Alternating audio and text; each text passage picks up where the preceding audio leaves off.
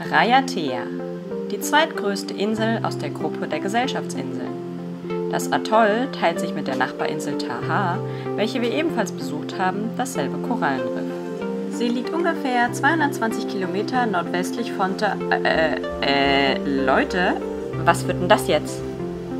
Euer Ernst? Könnt ihr das nicht auf später verschieben? Ich versuche hier gerade von einer Reise zu berichten. Los jetzt, verschwindet! Ach, äh, wo war ich stehen geblieben? Ach ja, also 220 Kilometer nordwestlich von Tahiti. Raiatea selbst bietet keine Sandstrände. Diese findet man aber an den Motus. Und eines davon lag unweit unserer Unterkunft und wurde mehrfach von uns mit dem Kajak besucht. Wie unsere Unterkunft aussah, welche wir für 13 Tage bewohnt haben, das zeigen wir euch jetzt.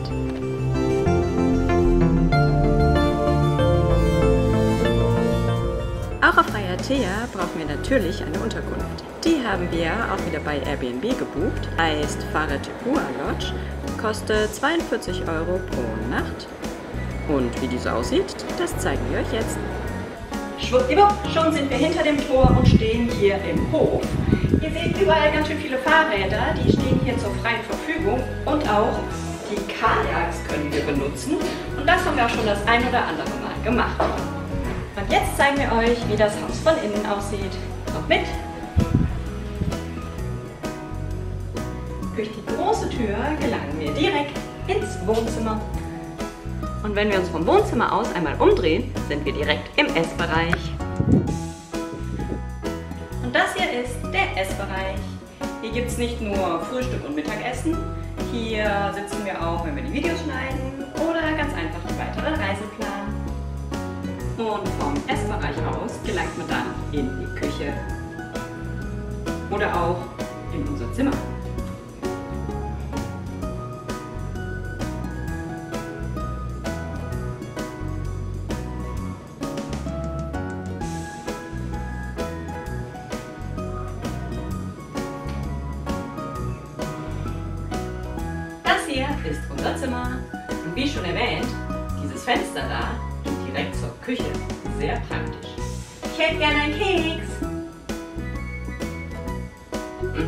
Klappt nur leider nicht immer.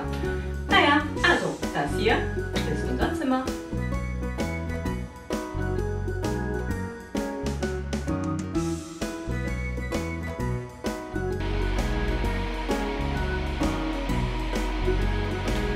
Willkommen im Bad. Nichts Besonderes.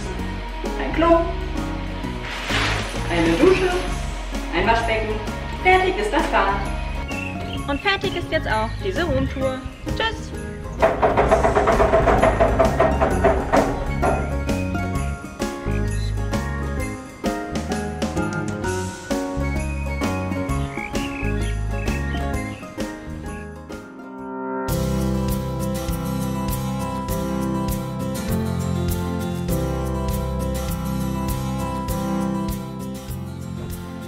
Das eine oder andere Mal sind wir nach Utora gefahren, Raiateas Hauptstadt. Allein schon zum Einkaufen. Zwar lag unsere Unterkunft so gut, dass in Laufweite ein kleiner Supermarkt war, aber für größere Einkäufe ging es in den nur drei Kilometer entfernten Ort. Das Städtchen selbst hat uns wirklich sehr gut gefallen.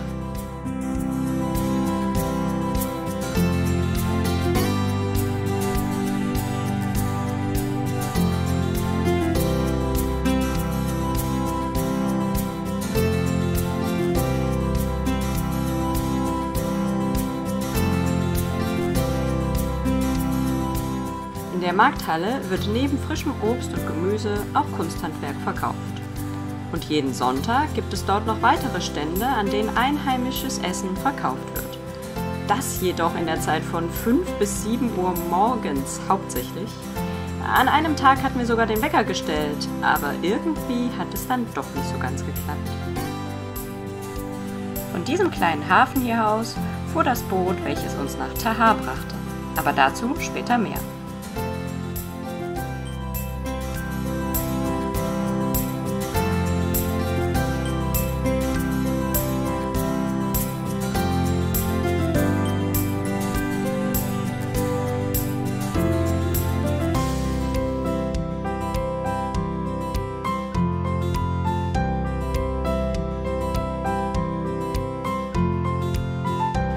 Das hier sind übrigens die ortsansässigen Busse.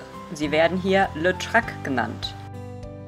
Wie auch schon auf den anderen Inseln gab es auch auf Raiatea wieder so richtig tolle Kunstwerke an den Wänden und den Toren der Stadt zu sehen.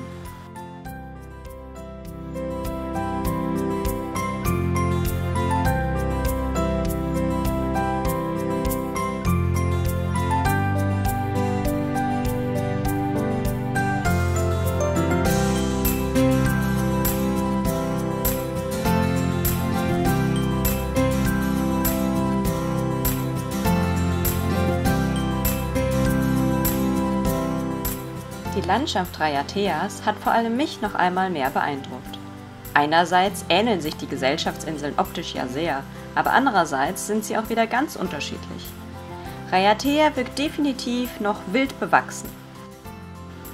So, nun geht's aber auf zum Moto Ofetaru. Und auch wenn wir uns noch innerhalb des Riffs befinden, so war das Gefühl über den tiefen Stellen des Wassers doch ein wenig anders. Naja, und mit so einem Kajak muss man erstmal lernen, geradeaus statt zickzack zu fahren. Circa 1,5 Kilometer Paddelweg lagen vor uns.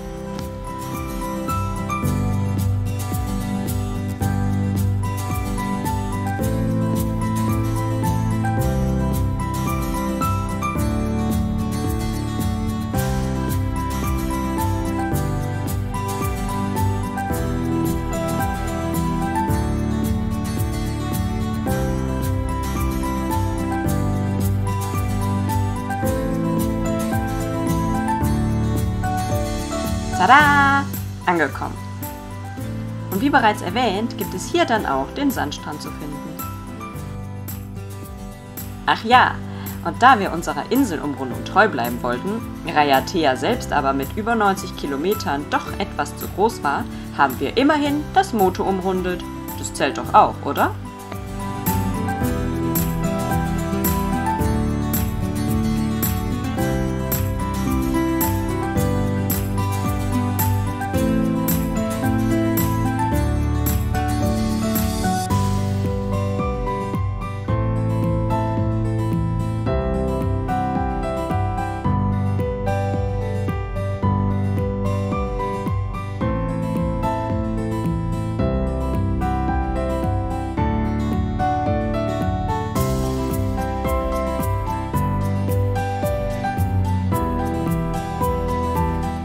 Die andere Insel bereits im Regen versinkt, so gab es bei uns immer noch herrlichen Sonnenschein.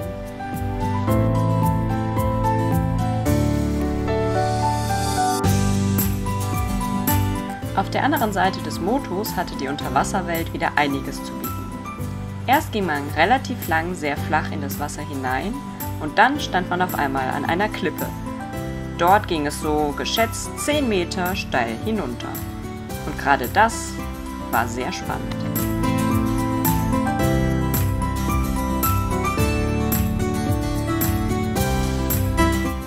Das hier ist übrigens ein Suchbild. Wer findet die Schildkröte?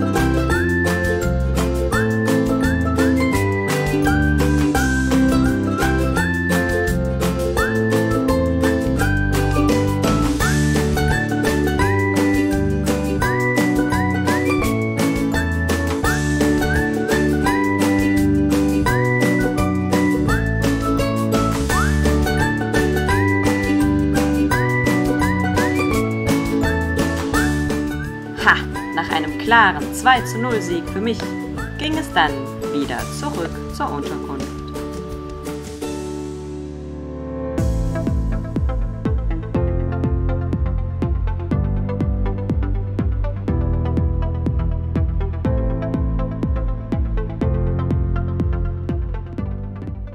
Heute sind wir an den drei Wasserfällen. Eins, zwei, drei. Na gut, kleiner Scherz. Wie die richtigen drei Wasserfälle aussehen, das werden wir dann gleich herausfinden. Die drei Wasserfälle sind auf Raiatea eine der Sehenswürdigkeiten. Und mit nur ca. 6 Kilometer Entfernung von unserer Unterkunft waren wir mit dem Fahrrad natürlich ganz schnell da.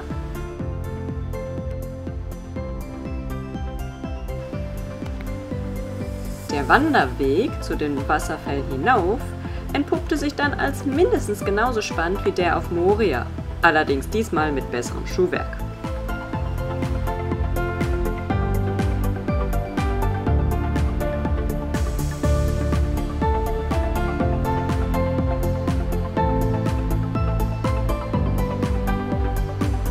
Nach circa 50 Minuten über Stock und Stein und dank der Hinweise anderer Wanderer haben wir den Weg zu dem ersten Wasserfall dann erfolgreich gemeistert.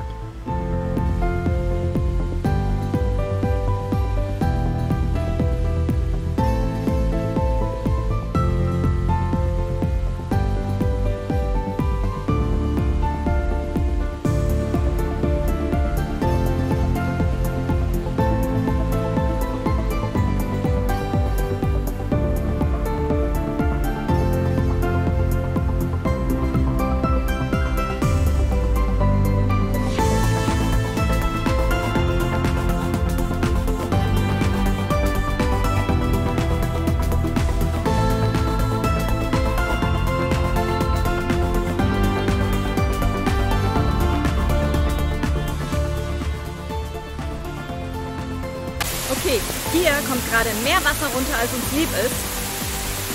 Irgendwie hat es angefangen zu regnen. Naja. Wen stört? Was machst du da oben? Ich glaube, es regnet. Ich weiß nicht, wo mehr Regen runterkommt. Aus der Wolke oder aus dem Wasserfall. Es werden noch Wetten angenommen.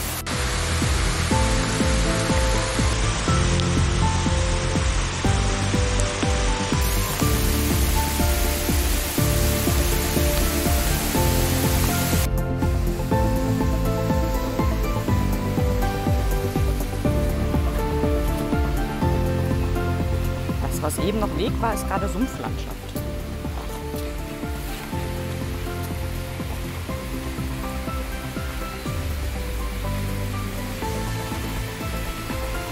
Da wir eh pitschnass sind, können wir auch einfach mit den Schuhen durch. Dann werden die wenigstens mal gewaschen.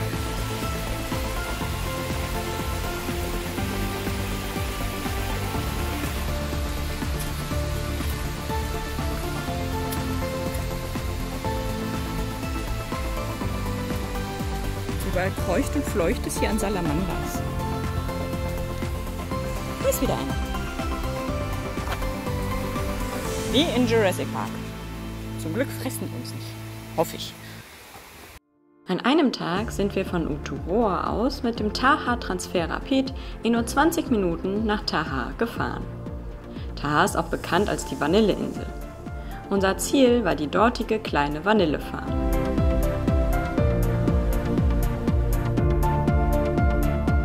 Da wir die Fahrräder dabei hatten, haben wir die Farm auch nach gut anderthalb Stunden erreicht.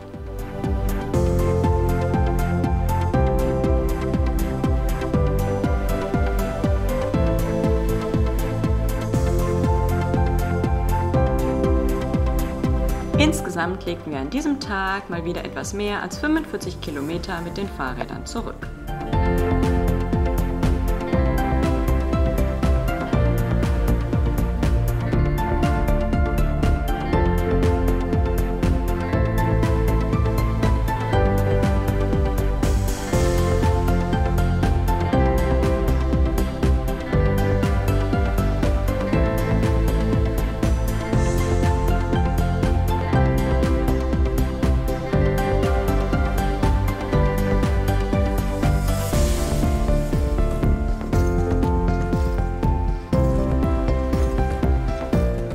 Besitzerin der Farm führte uns kostenlos über ihr Gelände und erzählte uns viel Geschichtliches, was sie mit ihrer Farm bereits alles erlebt hat.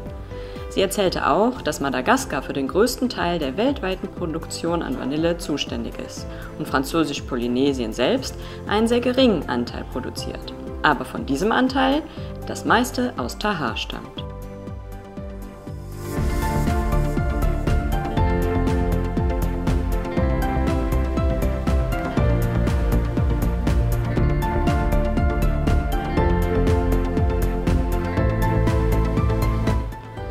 Zwischen Blütezeit und erntebarer Schote vergehen schon mal gut sechs bis neun Monate. Und weitere Monate dauert es, bis die Schote dann getrocknet ist. We use a toothpick. This is the kind of thing that we use to uh, to pollinate because the flowers is hermaphrodite. Mm. You know, you get two organ male and female. Okay. So it's the uh, male who's holding the pollen. Yeah. that I have to pick it up and put into the female. Aus Vanille wird vor Ort sehr viel gefertigt. Ob nun die Schoten selbst verkauft werden, welche aber eine entsprechende Größe haben müssen, oder ob man die nicht so schönen Schoten zu Vanillepulver verarbeitet. Von Tee bis Likör konnte man so einiges in ihrem eigenen Laden kaufen.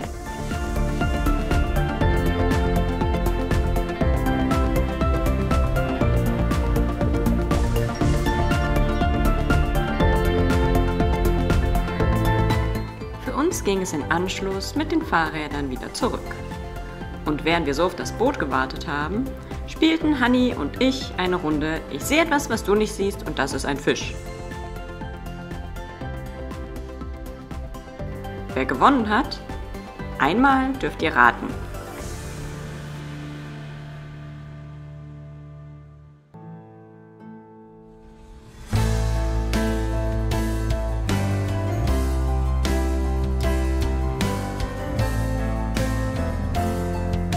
Raiatea hat nicht nur landschaftlich viel zu bieten, sondern auch geschichtlich. So fuhren wir an einem Tag zum Marae Tapu Tapuatea. Die Marae sind ein großer zeremonieller und religiöser Bestandteil der französisch-polynesischen Kultur und dies hier ist sogar Teil des UNESCO-Weltkulturerbes.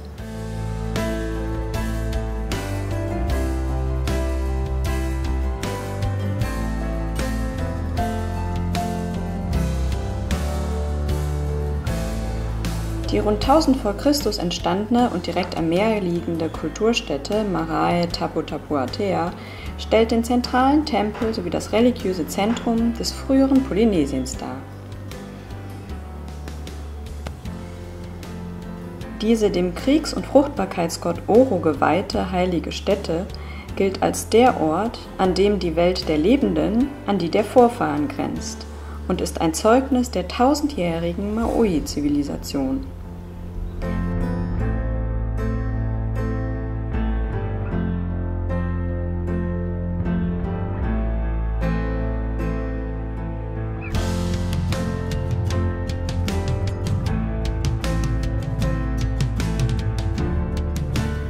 Seht ihr eigentlich auch den Dino in dem Ast?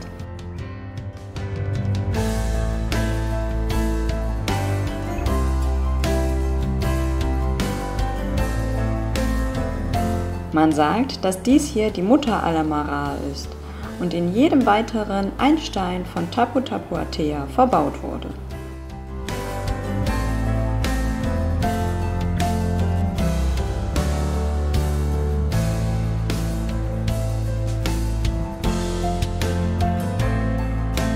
Auf dem rund 30 Kilometer langen Rückweg machten wir noch einen kurzen Halt am Botanischen Garten.